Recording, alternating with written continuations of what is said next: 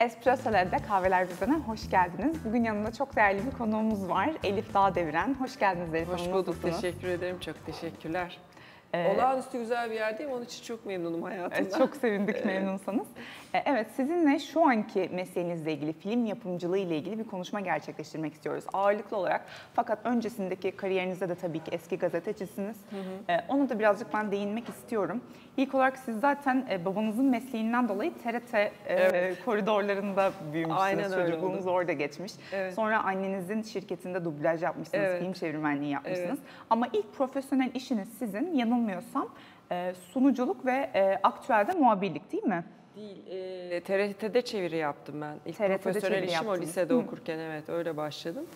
Yani e, tabii harçlık kazanmak için başladık ama bayağı güzel harçlık kazandık. Sonra uzun süre profesyonel işim o oldu. Üniversiteyi çeviri yaparak bitirdim ben. Öyle mi? Evet. Yani medya sektörüne aslında siz çeviri yaparak girdiniz ilk.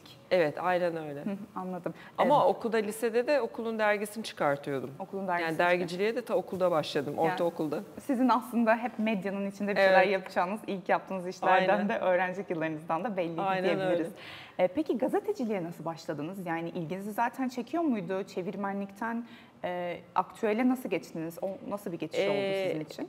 Ben Beyaz Dizi'ye kitap çevirileri yapıyordum. Beyaz Dizi'nin de sahibi Ercan Arıklı'ydı. Bu dediğim Evet. orta sonda başladı. Lise boyunca devam etti.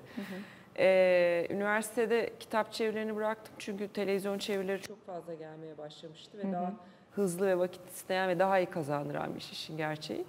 Ee, fakat İstanbul'a ilk taşındığımda tamamen o zaman ben çok erken evlendim ilk eşimle. Üniversitede okuyorduk e, ikinci sınıfta. Eşim de müzisyen de onunla ilgili bir iş için gelmiştim İstanbul'a. İstanbul'a taşımamız gerektiğine karar verdik. Ee, ama tabii benim de bir iş bulmam gerekiyordu üniversite bittikten sonra. Ee, Ercan Bey de o sırada Number One TV'yi e, yani onların şey Number One'dı. Bizim bildiğimiz şimdiki Number One değil. Ee, onun altyapısını kuruyorlardı. O Satel oldu. Satel'den de ATV oldu zaten. Ee, onun deneme yayınlarında ben haberler dışında her şeyi sunuculuğunu yapmaya Evet başladım. öyleymiş. Ve e, orta o, şey Ortaköy'deydi yayınları. Ortaköy'de gidip tanınmaya başlayınca hani sizin gibi böyle kapalı devre zannediyorsunuz ama bayağı insanlar Bir tanıyorlar. de o zamanlar çok daha az kanal var Hiç. tabii ki. Bir tek TRT var yani ilk e, şey Magic Box başlamıştı. Evet. Arkasından Star. da Satel ikinci kanal olacaktı. E, Magic Box'tı o zaman. Daha Magic Star Box'ta Star olmamıştı. olmamıştı, evet, Aynen. doğrudur. o kadar evet o kadar eski. E, ama ben çok utandım beni sokakta tanımaya başlayınca insanlar. Normalde insanların hoşuna gidecek bir şey değil mi tanınmak? Ya böyle çok acayip geldi. Yani hani daha küçücüğüm, işte siz yaşlardayım falan ve insanlar böyle fotoğraf çektirmek istiyorlar falan. Aa Elif Hanım falan. diye. Evet ve bu, bu, bu bana çok korkutucu geldi. Neden bilmiyorum. Ee, ben aynı zamanda da Türker İnanoğlu ve Sinan Çetin'in gene üniversitede okurken asistanlıklarını yapmıştım yazları gelip. Her ikisi de bir de Korhan Yurtsever'in üçü de beni kamera önüne çıkarmak istediler.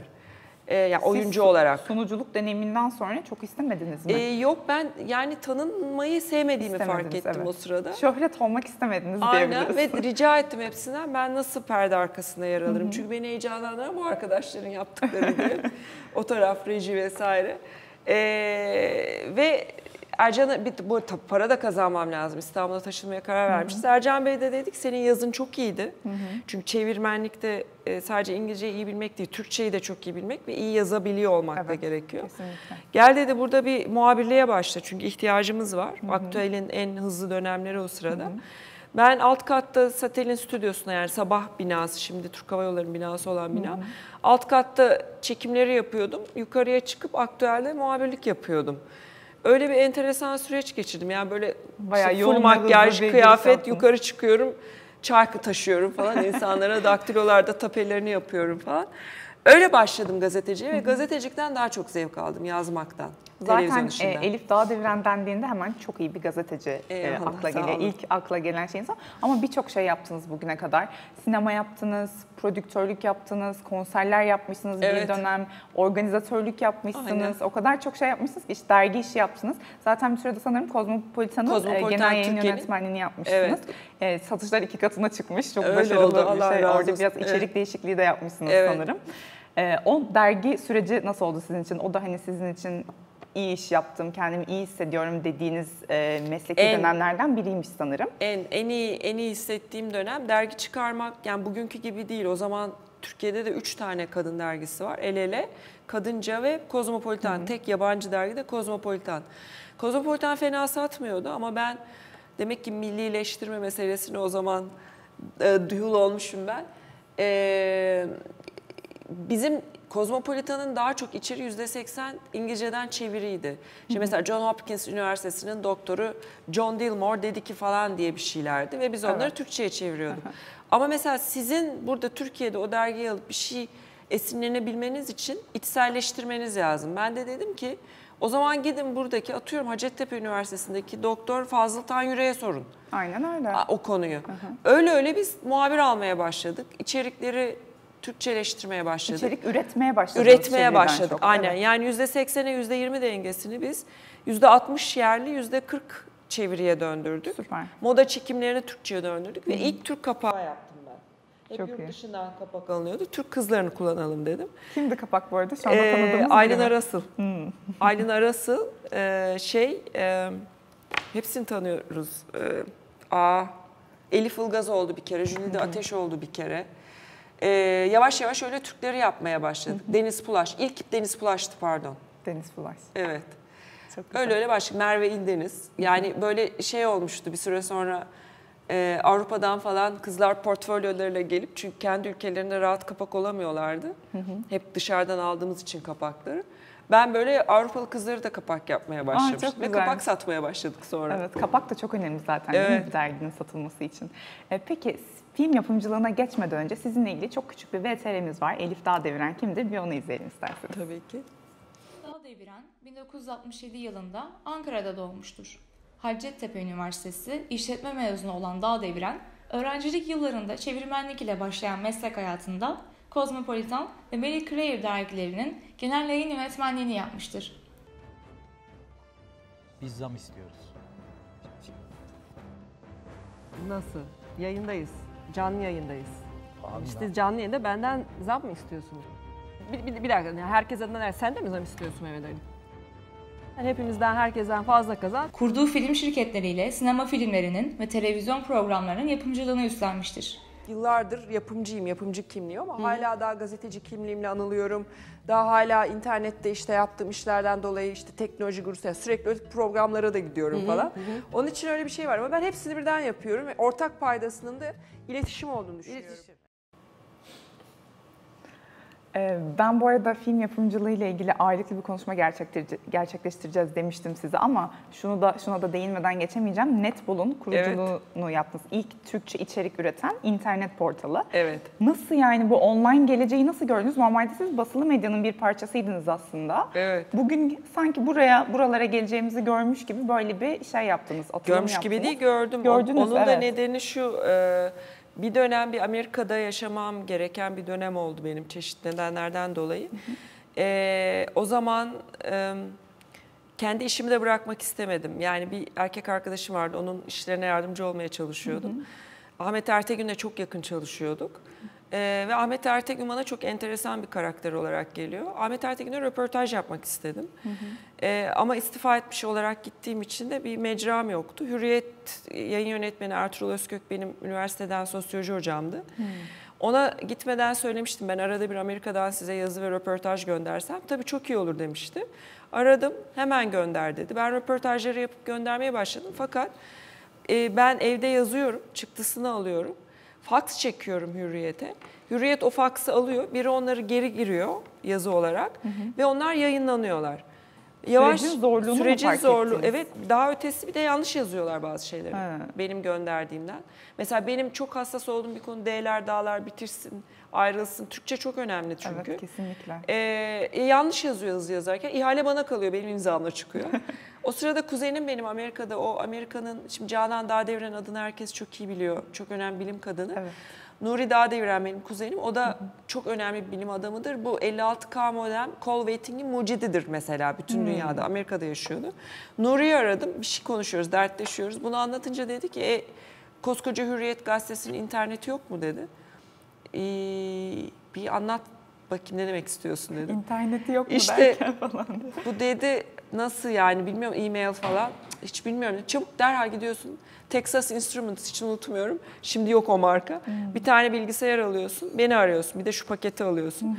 Beni internete bağladı. Ben New York'ta yaşıyorum. O şeyde San Francisco'da yaşıyor. Ve ondan sonra bana şimdi dedi ki karşına bir ekran açıldı. Evet ne yazıyor üstünde? Bir şey yazmıyor. Şimdi kodluyorum. Y A H O O nokta C O M yazacaksın. Yahoo.com. Girdim Yahoo açıldı. Evet açıldı dedim. E tamam işte internete girdin dedi. E girdim de ne oluyor dedim ben de. tamam işte oradan yürüyeceksin dedi. Nereye yürüyeceğim? Ne yapacağım? Böyle Yahoo ile bakışıyoruz karşılıklı. Sonra yavaş yavaş işte Hürriyet'e söyledim. Hürriyet evet bizim altyapı var dedi.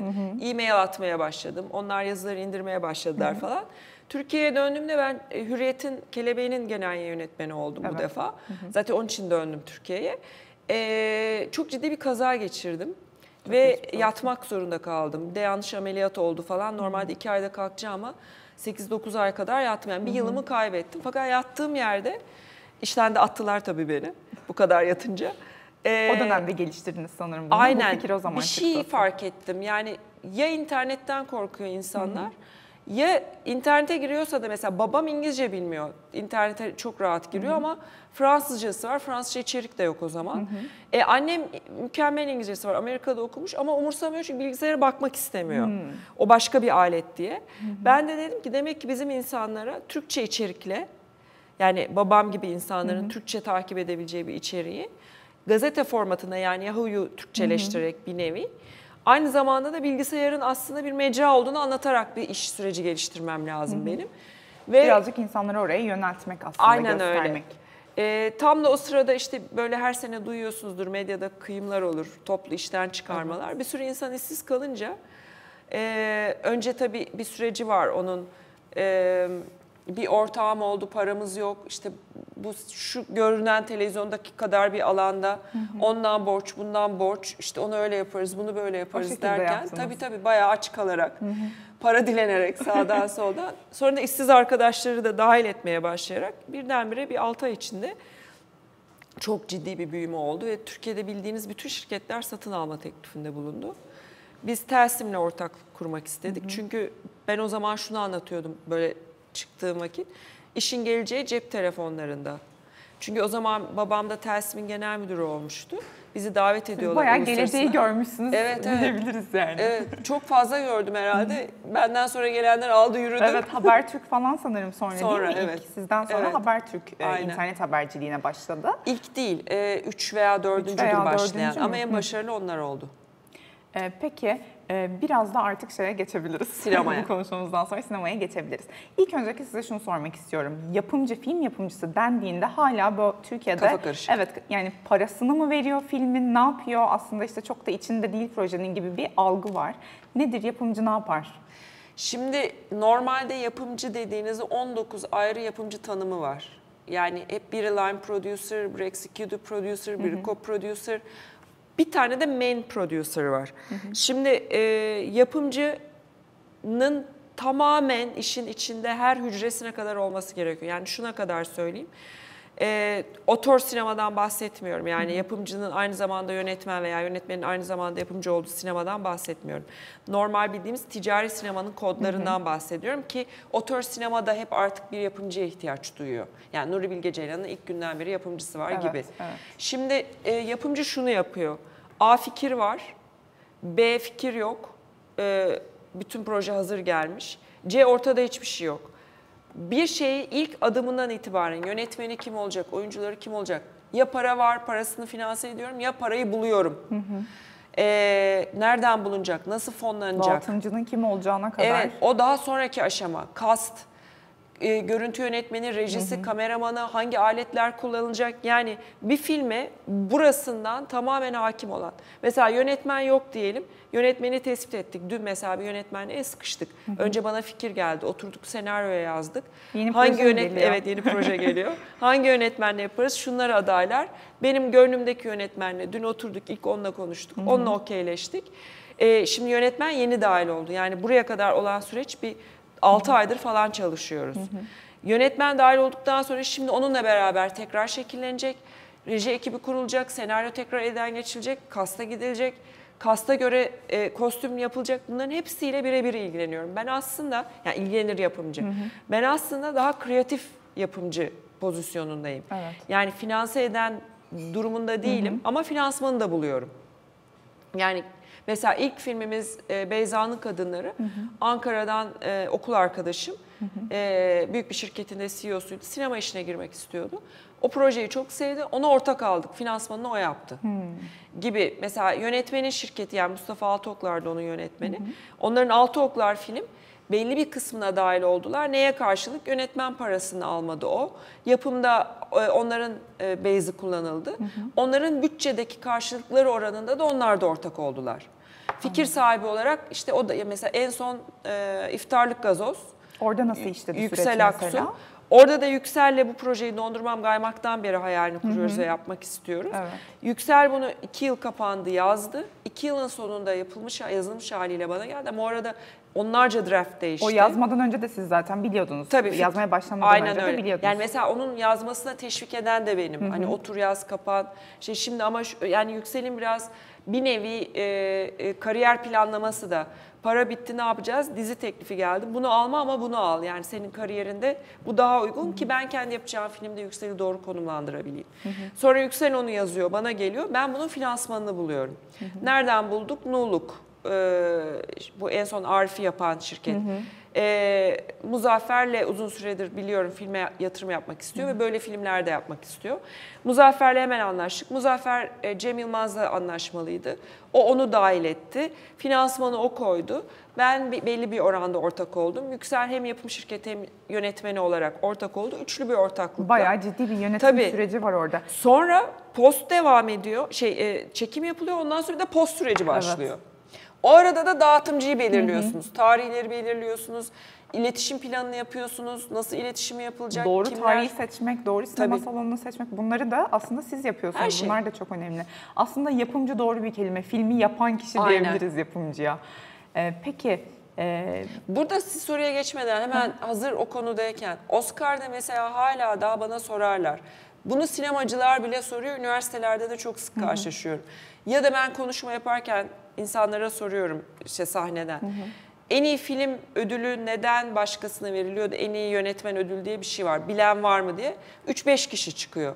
Lütfen en iyi film ödülü yapımcıya verilir. Bu anlattığım sürecin ödülüdür o. aa, evet çok doğru. Yönetmen ayrı. Yönetmen o ayrı. Yaptığı sanatın karşılığını alıyor. Evet. Ödülünü alıyor. Yani. Yani en iyi filmi yapımcı zaten yarattığı ve bir araya getirdiği için her şeyi Aynen. yapımcı almış oluyor. Çok mantıklı. Peki e, birazcık Netflix ve Puhu TV dünyasına doğru gidecek olursak. Sinema anlamında baktığımızda Netflix ve Puhu TV sizce sektörü canlandırıyor mu? Yoksa tam tersi artık insanlar işte niye sinemaya gideyim, Netflix'ten bir iki bir şey izlerim, Puhu TV'den işte eski bir iki film izlerim, sonra yüklenir falan deyip sinemaya bu sefer gitmemeye mi başlıyor insanlar? Çünkü aslında çok daha geniş bir içerikle karşı karşıyayız artık internette. Nasıl değerlendiriyorsunuz? Şimdi ben meslektaşlarım gibi düşünmüyorum. Benim bütün meslektaşlarım tehdit olarak görüyorlar platform kanallarını. Ben tam tersine e, hani net bu zamanda dedim ya gelecek burada diye. Evet. O zamandan beri söylediğim bir şey var. Hani şimdi bir sürü yaptığım işleri konuşuyoruz. Bunların ortak noktası iletişim demişim ama değil içerik. Bunların ortak noktası. Biz aslında içerik üretip aracı olarak sizlere taşıyoruz, insanlara taşıyoruz. Yarın bir gün siz de bunun bir parçası olacaksınız, üreten tarafına geçeceksiniz. Şimdi e, ben ta Netpool'dan beri hep şunu söyledim. İçerik, içerik, içerik, içerik, içerik. Sinema filmi de bir içerik. Bu içeriğin platformları da değişecek. İki kere iki dört yapacak bir şey yok bu konuyla ilgili. Benim için önemli olan e, filmin hakkıyla seyredilebileceği bir platformda yer alması. Yani sinema salonunun ben büyüsünün geçeceğine asla inanmıyorum. Yani geleceği bu kadar gören bir insan olarak göreceksiniz hep beraber bunu deneyimleyeceğiz. Sinema salonları ölmeyecek. Ama onlar da tarz değiştirecekler. Mesela şimdi 3D'ler başladı. Evet. Koltuklar sallanıyor. IMAX başladı. Yakında e, ortada arena gibi filmin oynadığı ve bizim her taraftan Üç seyircinin boyutlu üç olarak boyutlu evet yani evet. bayağı karşımızda elini uzatsan tutacağın hissi veren sinema sistemleri Ya geliştirilecek. aslında 3 boyutlunun, IMAX belki de 3 boyutlunun da bence çok şeyi yok gibi geliyor bana. İnsanların gözleri yoruluyor, istemiyorlar. Şu anda öyle evet. Yani- Ben de tercih etmiyorum. Çok yorucu çünkü Ama böyle bir gelecek var ve geliştirilecek Buraya diyorsunuz. yani sinema salonu bir kere bir normal şu anda bildiğimiz gibi bile olsa bir filmi dev bir ekranda, karanlık bir ortamda seyrettiğiniz vakit tamamen filmin içindesiniz. Öbür türlü e, iPad'den, evdeki televizyondan nereden seyrederseniz seyredin. Telefon çalar, o sırada o sahne ilginizi çekmez, döner bir şey yazarsınız. Artık bir de multiple ekran devrini yaşıyoruz Evet, hep evet, beraber. evet. Anneniz bir şey söyler, çocuğunuz çağırır, arkadaşınız bir şey yapar, durdurursunuz, tuvalete gidersiniz. Yani filmle aranıza bir sürü şey girer. Multitasking yapıyoruz. Aynen. Ama sinemaya gittiğiniz vakit başka bir dünyanın parçası olursunuz. O dünyaya ait olursunuz. Mesela Matrix gibi bir filmi bugün yaptığınız takdirde ya da Inception. Bunları asla ve asla şu kadar ekranda ve bu kadar dışarıdan etken varken tadına varamazsınız. Onun için Varamazsınız, doğru. sinemanın tadına varanın iyi filmleri sinemada seyretmek gibi bir hastalığı bu de- devrimler devam ettikçe aksi yok devamında gelecek. Yani ölmeyecek sinema. Şu var ama e, ben mesela bana danışmanlık isteyen de senaryo getiren insanlara bir soru soruyorum. Ben bu filmi neden sinemada seyredeyim? Yani ben de bir yapımcı olarak ne yazık ki şunu ayır yani o kadar çok görmek istediğimiz film ve hayatta yapacağımız o kadar çok şey var ki her hafta çıkan bütün filmleri sinemada seyretme şansım yok. Yok evet tabii ki. Yani buna işim bu olduğu halde yok.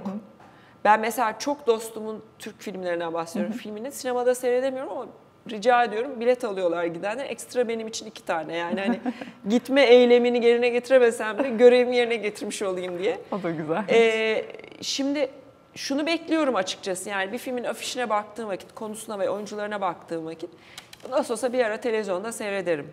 Ya da bir Onu platformda. siz de düşünüyorsunuz Tabii aslında. ki yani evet. sinemaya beni götürme nedeni olması lazım. Dondurmam Gaymak mesela. Beklediğiniz iyi bir proje olması lazım. Evet, benim bütün iletişim dilini kurma kurduğum şey oydu. Televizyonda göremeyeceğiniz bir şey için sinemaya çağırıyoruz sizi. Ya da e, Arif 216. Yani o detaylar, o o cümbüş, o hal şu kadar bir ekran içinde kaybolur. Onu sinemada izlemek O gerekiyor. sinemada izlemek gerekir. Yani Türk filmlerinden örnekler veriyorum. Mesela iftarlık gazoz. Kaç kişiden televizyonda yayınlandıktan sonra ah sinemada göremedim çok pişmanım mesajı hem sosyal medyada gördüm hem bana geldi. Bu filmin o doğanın içine sinemada girmek lazımmış. O duyguyu yani Evet. insan fi- Ya bir- enerjisi bile farklı aslında değil mi Bambaşka sinemada bir, o dünyanın Evet. parçası olmak istiyorsanız Star Wars'u orada seyretmeniz lazım. O zaman o uzayın parçası oluyorsunuz. Evet, doğru söylüyorsun. Televizyona şey Game of Thrones. Şimdi ben mesela bir proje seyrediyorum. Büyük ekranda seyredince evde büyük ekranda şundan bile daha zevk alıyor. Düşünün onu biz sinemada seyretsek. Ben bir de düşünün te- şey, telefonla izlemeye başladım her şeyi. Şu an bayağı kendimi kötü hissediyorum. Ama bir daha bir bakın ama büyük ekranda göreceksiniz nasıl farklı Fark, bir zevk evet, verdiğini size. Aynı şeyi seyretseniz bile. Doğru söylüyorsunuz. Yavaş yavaş süremizin sonuna geliyoruz. Son bir soru sormak istiyorum size. Benim gözlemlediğim ve tabii ki birçok insanın da gözlemlediği kadarıyla artık Türk sineması biraz yani komedi filmleri tarafından domine ediliyor. Doğru. Bu neden böyle? Bunu merak ediyoruz. Yani insanlar neden komedi mi izlemek istiyor yoksa insanlar oraya mı yönlendiriliyor? İşte dağıtımdaki tekerleşme midir bunun sebebi? Bu nasıl aşılabilir? Nasıl daha çeşitlendirilebilir Türk sineması?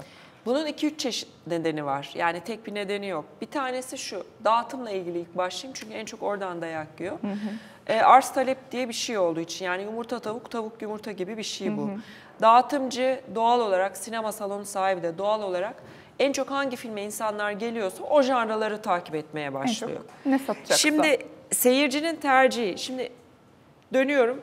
Bizim dondurmam gayma yaptığımız dönemlerde bu kadar çok alışveriş merkezi yoktu. Şimdi gene ben orada meslektaşlarımdan ayrılıyorum biraz. Alışveriş merkezlerine çok kızıyorlar sinema duygusunu öldürdü diye. Ben tam tersini düşünüyorum. Sinema ile hiç tanışmayan insanları sinemayla tanıştırmaya başladı alışveriş merkezleri. Şöyle bir durum var. Anadolu'da ee, ve benim dondurmam gaymak dönemindeki araştırmalarda baktığımda gördüğüm şey %60 bilet satışı İstanbul'daydı, %40 Anadolu'daydı. Şimdi tam tersi hatta %70'lere kadar çıktı bildiğim kadarıyla Anadolu'daki bilet satışları. Çünkü insanlar eskiden hobisiz bir ülkeyiz ne yazık ki. Yani hani pazar günü çocukları alayım, şunu yapayım, bunu yapayım, o müzeye gideyim, Evet. buradan bu etkinliğe katılayım, oradan Aynen balık öyle. tutmaya gidelim, ormanda bitkileri inceleyelim. Böyle bir kültürümüz yok, Yok. ne yazık ki bizim. Yani olsa Türkiye'de bir de bu olsa hakikaten dünyanın en güçlü ülkesi olacağız ama yok. Yok. Ne oldu? Alışveriş merkezi değil bir de evden dışarıya çocuk ve kadın çıkarmama gibi bir alışkanlık var Aynen Anadolu'da. Alışveriş merkezleri kadınların ve çocukların ve gençlerin Vakit vakit, geçirebilecekleri yer yer oldu, oldu. Dolayısıyla hobi alanlarına döndü. Yani ne oluyor? Ben ne yapayım cumartesi? İşte siz kendi aranızda, bizim yaş grubu da bizden büyüklerdi. Hadi işte e, e, burada en yakında hangi alışveriş merkezi var bilmiyorum. Neyse kanyon diyelim. Hep beraber kanyonda buluşalım saat 2'de. Buluşuluyor, bir yerde oturuluyor, yemek, Yemek yeniliyor. yeniyor, Oradan dükkanlara gidiliyor. bakılıyor, Evet. müze gezer gibi. Hadi bir de filme girelim. Şimdi o sinemaya hadi bir de filme girelim. Şu demek, sinema için evinden çıkıp oraya gitmiyor. Evet doğru. Orada olduğu için bir filme giriyor. Sinema fikrini değerlendiriyor sinemaya gitme Aynen. fikrini. Yani o 8 saat, 6 saat, kaç Evet. saat geçecekse 2 saati de bir filme girelim. Çünkü elinin altında zaten. Aynen öyle. Şimdi bir filme girelim deyip girdiği vakit gişenin arkasında şu andaki en etkin konulardan biri. Dondurmam Gaymak'ta ben televizyonda göremeyeceğiniz için gelin demiştim. Şimdi burada kimi tanıyorsa simayen, aa bak işte Ahmet'in, aa bak Ayşe'nin filmi var ona girelim diyor. Yani afişten Amerika'da Amerikan sistemidir bu aslında. Amerika'nın bütün sinema dominasyonu böyledir. Afişten filme gelir. Afiş pazarlaması çok önemli. Afiş çekiyor insanları. Burada da böyle olmaya başladı. Tanıdık kafa, afiş eğlenceli. Fragmana da bakıyor işte böyle ekranlarda oynuyor ya. Tamam onu seçelim. Yani iletişimin sistemi de olduğu gibi değişti. Şimdi böyle olunca ne oluyor? Televizyonda gördüğü insanlar ama neyi tercih ediyor? Şimdi televizyonda atıyorum e, Meryem Uzerli'yi Muhteşem Yüzyılda bir dramada babalar gibi çok da başarılı olarak seyretmiş, seyretmiş, seyretmiş, seyretmiş. Şimdi geldiği vakit Meryem Uzerli'yi dramada görünce zaten televizyonda ve biraz da iç katılarak ama o sırada hani telefonla da ilgilendiği için, komşuyla da konuştuğu için rahat rahat da izlediği bir şey. Sinemada bir daha o daraltının içine girmek istemiyor. Evet. Geldiği vakit sinemada gençler daha çok alıyor. Niye gelmiş? Zaten gülüp eğlenmeye gelmiş. Hadi gülelim eğlenelim filmine girmek Diziler istiyor. zaten sürekli drama olduğu için Aynen sinemada öyle. gülmek istiyor belki Aynen de. öyle. Yani dağıtımcı bu yüzden onu tercih ediyor. Sinemaya giden yani bizim gerçekten şu yönet Ferzan Özpetek'in filmine gideyim ne zaman çıkacak? Evet çıktı. Bu cuma başlıyor. O zaman ben oraya gideyim. Ben hangi sinemada seyredeyim? Ekran kalitesi en iyi olan, bana da yakın olan şu sinemaya gideyim. Seyircisi %10. Yok, Evet. Çok az. Çok çok az. Öyle olunca da tabii dönüşüm başlıyor. Fakat misal Aile gibi filmler şimdi seyircinin doğru iletişim kurulursa ve doğru kurgu yapılırsa e, farklı filmlerde de başka bir dünyaya yolculuk Aslında edip o birazcık babam ve oğlumla başladı değil mi? Aynen birazcık şeyi? tamamen Evet. onunla başladı. Yani çok sürprizdi hiç. E, babam ve oğlum Dondurmam Gaymak iki tane sürpriz yapan iştir. Doğru. Ee, ben filme hiçbir yerde yani tanıdığım sinema salonları sahiplerine yalvararak vizyona sokmaya çalıştım. Almadılar sana ayıp olmasın iki salon vereyim öbürü üç salon vereyim. Aa Elifçim sen eski tanıdıksın Elifçim sen falan. Ee, biz de dedik ki o zaman sokmuyoruz vizyona. Ne yaptık? Bambaşka bir iletişim metoduyla Muğla'da çekildi film. O zaman biz sadece Muğla'da halkına bu filmi göstereceğiz. Ve bütün yaz boyunca da Ege köylerini gezeceğiz. Ama kamyonla ama eşek sırtında dedik. o kadar ilgi çekti ve o kadar farklı oldu ki bu çok uzun hikaye, çok kısa söylüyorum. Bir de bu ilgi çektiği için bu kadar Oscar aday adayı oldu. Sinemacılar ama Neredeyse ben ettim reklam, sen PR gibi etmedin. bir şey oldu neredeyse, neredeyse. değil. PR hepsi stratejik iletişim planı yapılarak yapıldı He, bütün bunlar. Yani hiçbir şey tesadüf değildir benim hayatımda. Yani iki buçuk ay boyunca bu Muğla kararı masada verildi. Yönetmen, ortaklarımız, oyuncular. Evet, planlanmış bir şeydi zaten. Tabii ki. Yani stratejik iletişim planının ilk üç maddesi bir, dondurmam gaymak ciddi gişe yapacak. İki, Yüksel Aksu yönetmen olarak tanınacak. Üç, uluslararasında Türkiye'yi temsil edecek. Bunu yaptığımızda biz sinemacılar zinhar almıyorlardı. Bu iletişim planı yaptığımızda. Ne oldu? Yüksel Aksu'yu bütün Türkiye tanıyor. evet. 50 bin gişe yaparsa mucize dedikleri iş 650 bin gişe yaptı. Oscar adayı oldu Türkiye. Süper. Peki süremizin sonuna geldik. Çok teşekkür ederiz. Ben teşekkür için. Çok mersi. Ee, sizlere de bizi izlediğiniz için çok teşekkür ederiz. Lütfen bizi sosyal medya hesaplarımızdan takip etmeyi unutmayın ve YouTube kanalımıza hala abone değilseniz abone olmayı unutmayın. Hoşçakalın.